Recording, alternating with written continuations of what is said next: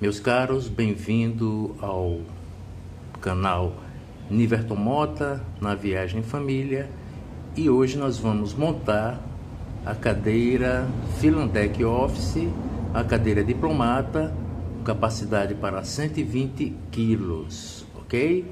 E vou mostrar para vocês quando ela estiver montada e também mostrar parte da montagem, ok?